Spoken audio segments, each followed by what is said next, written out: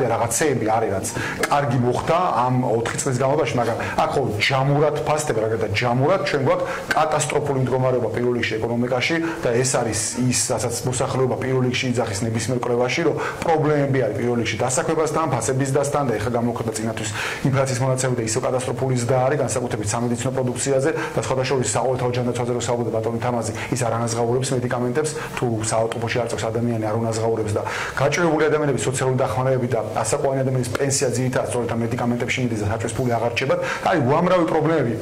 ეკონომიკური ხასიათის რომელზეც მოსახლეობა საუბრობს და ამ ხრივ წინ წავედით კი არა უკან წავედით. სერიოზულად და ისეთი მუხუჭი გვაქვს ამოწეული რომ ამის დაქოქვა და სტრაპიტები წინ წასვლა იქნება ძალიან რთული და ამას ჭირდება რადიკალური ნაბიჯების გადადგმა და ესეთ რადიკალურ ნაბიჯებს მოსახლეობას თავაზობ ჩვენ. ეს არ იქნება ყველასთვის კარგი ცხადი იქნება ნაბიჯები რომელსაც ვიღაცისთვის იქნება მწარე მაგრამ ამ ქვეყანას სხვა გამოსავალი არ აქვს. ან ჩვენ გავაგზავნებთ ბიუჯეტიდან ფულის ჭამას ისე როგორც ეხლა ჭამდა კიდევ იმერებ დავრჩებით ამ ჭაობში ან ჩვენ მივცემ შესაძლებლობას ჩვენ შვილებს რომ მათ მაინც კონდეს უკეთესი ცხოვრების პირობები ვიდრე ჩვენ. ბატონ ზურაბ, აი თქვენ